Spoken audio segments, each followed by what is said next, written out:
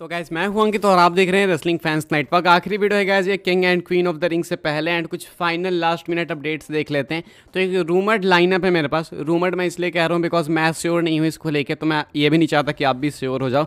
Possible lineup क्या है भाई, आप लोग देख लो अपनी स्क्रीन के ऊपर। बैकेलेंच वर्सेज लिव मॉर्गन बताया जा रहा है कि शो को स्टार्ट करेगा ये वाला मैच किक ऑफ़ करेगा शो को मेन शो को साढ़े दस से। उसके बाद इसको फॉलो करेगा Sami Zayn versus Chad Gable versus Bronson Reed का इंटर कॉन्टिनेंटल चैंपियनशिप का मैच यानी दो title matches back to back starting में, ये कुछ बताया जा रहा है। Then Lyra Valkyria versus Nia Jax का क्वीन ऑफ़ द रिंग का फाइनल्स होने वाला है। यहाँ पे नाया जैक्स जीतेंगी। मैंने अपनी predictions by the way Twitter पे पोस्ट कर दिए। अब वहाँ देख सकते हो। रैंडी ऑटन वर्सेस गुंथर इसको फॉलो करेगा। सेम ही मेन इवेंट आप लोग कह सकते हो। ये होगा king of the ring finals and then main event तो हमें पता ही है। वैसे भी शो को एंड करेगा Logan Paul versus Cody Rhodes का अनडिस्प्यूटेड चैंपियनशिप का मैच अब ये पॉसिबल लाइनअप है गैस देखो, ये किसी ट्रस्टेड सोर्स की तरफ़ से नहीं आया है, जो मैं से कॉन्फिडेंटली आपको कह सकूँ कि हाँ गैस यही होगा। मैं ज़्यादा श्योर नहीं हूँ इंटरनेट पर ये चीज़ है तो बस मैं आपके साथ शेयर कर रहा हूँ। आपको क्या लगता है? आप लोग कमेंट करके बता सकते हो। अभी के हिसाब से भाई, ये है कुछ लाइनअप डब्ल्यू और एल और मेड कॉमेंट करके बताना। आगे बढ़ते हैं गैस बात करते हैं अगली स्टोरी के बारे में, जो कि अंकल हाउडी को लेके। तो गैस अंकल हाउडी के टीचर्स भाई बिल्कुल फुल फोर्स में king of the ring and queen of the ring से पहले। एंड अभी क्या है कि किक ऑफ़ शो चल रहा है, जब मैं वीडियो शूट कर रहा हूँ किक ऑफ़ शो यानी काउंट भी आप लोग कह सकते हो। एंड यहाँ पे भाई, जब माइकल कोल बात कर रहे थे तो ऑडियो में ग्लिचेस देखने को मिला। एंड ये कल से ही हम लोग नोटिस कर रहे हैं। कल टेप हुआ था सऊदी अरेबिया से स्मैकडाउन जो कि आज सुबह में टेलीकास्ट हुआ। ऑडियो इशूज भाई, बहुत सारे सेगमेंट्स में देखने को मिला हमें। ऑटन की एंट्रेंस में देखने को मिला। पॉल हेमन के बैक स्टेज सेगमेंट में देखने को मिला। एंड अभी count to king and queen of the ring यानी किक ऑफ़ शो में प्रॉपर किक ऑफ़ शो में भी देखने को मिल रहा है। कई सारे ऑडियो ग्लेचेस हैं, यानी कि फुल फोर्स में टेक ओवर कर लिया है वाइट सिक्स ने भाई जेडा को। एंड शायद फाइनली आज वो रात है जब हमें वाइट सिक्स फैक्शन अपना डेब्यू करते हुए दिखेगी। एक आखिरी बार आपको मैं रूमर्ड नेम्स बता देता हूँ। अंकल हाउडी तो है ही हैं भाई, वो तो होंगे ही बोर्डेलिस Joe Gacy Nikki Cross Dexter Lumis and Erick Rowan का नेम है। तो भाई, ये कुछ नेम्स है। लेट्स सी लेट्स हो फिंगर्स क्रॉस करके रखो कि आज हो अंकल हाउडी का रिटर्न वाइट सिक्स का डेब्यू एंड किस पे अटैक करेंगे, क्या लगता है आप लोग कमेंट करके बताना। मेरी गेस है भाई रैंडी ऑटन के लिए। बाकी आपको क्या लगता है, लिख के आप लोग बता सकते हो ज़रूर से।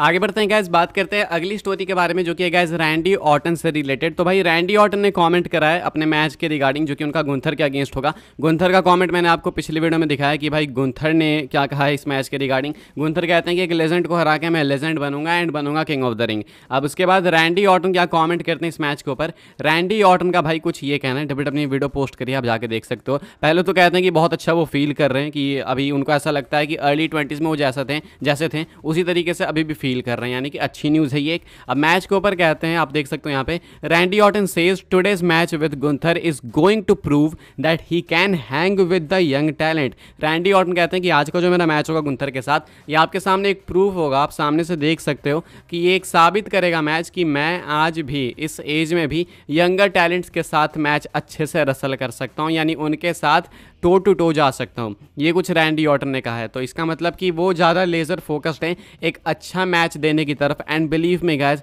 बहुत तगड़ा मैच होगा। इस मैच के लिए मैं इवन अनडिस्प्यूटेड टाइटल मैच से ज़्यादा हाइप दूँ मुझे लगता है ये वाला मैच मेन इवेंट होता तो ज़्यादा मज़ा आता बिकॉज़ एक तो king and queen of the ring PLE का नाम है। तो किंग ऑफ़ द रिंग का फाइनल ज़्यादा सूट भी करेगा। दूसरा अनप्रेडिक्टेबल भी है। एंड तीसरा भाई कि ये दोनों बहुत मैसिव नेम्स हैं। तो अभी के हिसाब से भाई ये मेन इवेंट तो नहीं होगा, लेकिन इसके बावजूद मैच मज़ेदार होगा। एंड रैंडी ऑटन का यही कुछ कहना है कि भाई वो इस मैच में बेस्ट देंगे एंड प्रूव करेंगे कि वो आज भी टो टू टो जा सकते हैं यंगर टैलेंट्स के साथ इस एज में भी। साथ में अच्छी न्यूज़ ये भी है कि रैंडी ऑटन कहते हैं कि वो काफ़ी अच्छा फील कर रहे हैं। जैसे अर्ली ट्वेंटीज़ में वो फील करते थे, वैसा ही वो अभी भी फील कर रहे हैं। तो एक बहुत अच्छी न्यूज़ है ऑटन की तरफ़ से। आगे बढ़ते हैं गैस बात करते हैं अगली स्टोरी के बारे में, जो कि king and queen of the ring के फाइनल बैटिंग ऑर्ड्स को लेकर तो भाई फाइनल ऑर्ड्स पे नज़र डाल लेते हैं, कौन से मैच में कौन जीत रहा है। सारे मैचेस के ऑर्ड्स नहीं है भाई, लेकिन जो कुछ नहीं है, उनके भी मैं आपको बता दूँगा। वो एक्यूरेट ही जाएँगे ऑर्ड्स एक्यूरेट जाएँगे। रिज़ल्ट का मैं नहीं कह सकता ऑर्ड्स तो एक्यूरेट जाएँगे। बाकी पहले undisputed W W universal championship match है भाई। Cody Rhodes versus Logan Paul का undisputed title on the line है। यूनाइटेड स्टेट्स टाइटल बिल्कुल सेफ़ एंड सिक्योर है। कोडी रोड्स हैवी फेवरेट है माइनस फाइव थाउज़ेंड के ऑर्ड्स के साथ। लोगन पॉल हैवी अंडरडॉग हैं। प्लस ट्वेल्व हंड्रेड के ऑट्स के साथ। नो सॉक भाई, यहाँ पे हमें पता है क्या होने वाला है। उसके बाद women's world championship match Becky Lynch defend करेंगी title against Liv Morgan and यहाँ पे बैकेलेंच फेवरेट हैं वन थर्टी के ऑट्स के साथ minus one thirty I mean and Liv Morgan underdog है plus one hundred and ten के odds के साथ। यहाँ पे एक चीज़ नोट करने लायक ये है कि बैकेलेंच के लिए जो ऑट्स है वो नीचे गिरे पहले बैकी और फेवरेट थी माइनस वन के ऑट्स थे उनके लिए, लेकिन अभी बैकेलेंच के लिए ऑट्स नीचे गिरे एंड अभी जो लिव मॉर्गन है, वो पहले से थोड़े बेटर कंडीशन में यानी कि अंडरडॉग तो अभी भी है पहले भी अंडरडॉग थी, लेकिन अभी थोड़ी सी कम अंडरडॉग है। बैकेलेंच जो पहले बहुत ज़्यादा हैवी फेवरेट थी, वो भी थोड़ी कम हैवी फेवरेट हुई है। उसके बाद इंटर कॉन्टिनेंटल टाइटल मैच है। यहाँ पे सेमीज एंड डिफेंड करेंगे intercontinental championship against Bronson Reed and Chad Gable and यहाँ पे semis and gas heavy favourite minus six hundred के ऑर्ड्स के साथ टाइटल रिटेन करेंगे। ब्रॉन्सन रीड के लिए ऑर्ड्स है plus eighteen hundred and Chad Gable के लिए भाई प्लस थ्री हंड्रेड टेन यानी कि कहने का मतलब है कि सेमीज एंड टाइटल रिटेन करेंगे।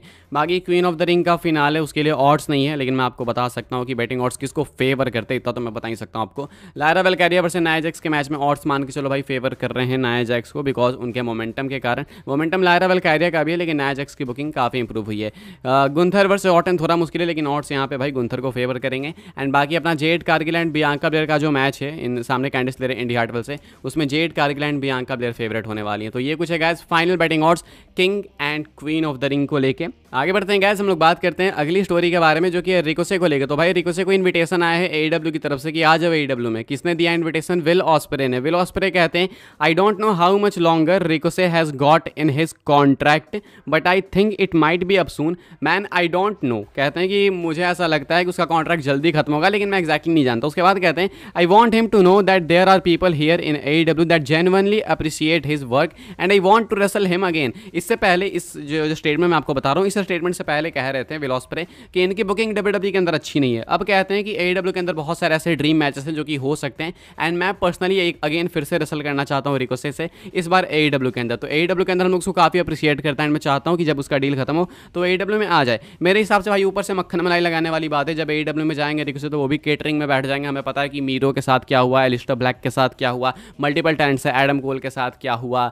बहुत सारे टैलेंट्स गए बहुत सारे टैलेंट्स फेल हो गए। नाइन्टी परसेंट फेल हो गए। तो रिकोसे के साथ भी सेम ही होगा एटलीस्ट डब्ल्यू डब्ल्यू के अंदर भाई वो स्पीड चैंपियन है। एक मेन जो उनका अलग ही इन्होंने बताया है कैटेगरी उसमें मेन सुपरस्टार तो हैं। विलॉस्प्रे को काफ़ी क्रिटिसाइज करा गया उनकी बातों के लिए। अभी के हिसाब से रिकोसे को इन्वाइट करते हैं वो। बात कर लेते हैं गैस हम लोग अपनी नेक्स्ट एंड फाइनल स्टोरी के बारे में, जो कि ट्राइबल चीफ रोमन रेंज के रिटर्न स्टेटस को लेकर तो भाई रोमन रेंज के रिटर्न स्टेटस को लेकर अपडेट है। अभी आपको मैंने अपडेट बताई होगी दो तीन दिन पहले कि बताया जा रहा है कि रोमन रेंज एक्सपेक्टेड टाइम से पहले वापस आ जाएँगे। ये एक पॉजिटिव अपडेट थी। क्योंकि शायद वो फ़िल्म की शूटिंग इसी हफ़्ते या अगले हफ़्ते रैप करने वाले हैं। तो माना जा रहा था कि रोमन रेंज जल्दी वापस आ जाएँगे, लेकिन रिंग साइड न्यूज़ के स्टीव कैरियर की तरफ़ से एक्सक्लूसिव रिपोर्ट निकल के ये सामने आई है, बताया जा रहा है कि डब्ल्यू को तो कोई आइडिया नहीं इस चीज़ का। डब्ल्यू वालों ने डब्ल्यू के इंसाइडर सोर्सेज ने इनको बताया कि हमें तो इस चीज़ का कोई आइडिया नहीं, हमने तो ऐसा कुछ सुना ही नहीं। यानी कि कहा जा रहा है कि ये सिर्फ़ इंटरनेट रूमर्स है एंड एक्चुअली में डब्ल्यू को भी कोई ख्याल नहीं है, कोई ध्यान नहीं है कि रोमन कब वापस आएँगे। अब आपको किस पे ट्रस्ट करना है वो बिल्कुल आप पे डिपेंड करता है। फ़िलहाल इस वीडियो के लिए बस ये कुछ अपडेट्स थी। अब king and queen of the ring चालू होने वाले सो लेट्स सी क्या होता है इवेंट में, क्या नहीं। मैं ट्विटर पर लाइव ट्वीटिंग करूँगा तो आप फॉलो कर सकते हो वहाँ पे, आपको पता चल जाएगा क्या है मेरे रिएक्शंस बाकी हम लोग मिलेंगे king and queen of the ring के बाद एंड अगर कुछ बीच में मैसिव हो जाता है तो और मज़ेदार हो जाएगा भाई। बाकी लेट्स सी होप करता हूँ मैं कि कुछ इतना बड़ा हो जाए कि रात में ही वीडियो डालनी पड़ जाए, नहीं तो फिर कल सुबह मिलेंगे। तब तक के लिए गुड बाय लाइक से सब्सक्राइब करना। ओ भाई बाय माइक को तोड़ दिया मैंने, लगता है बाय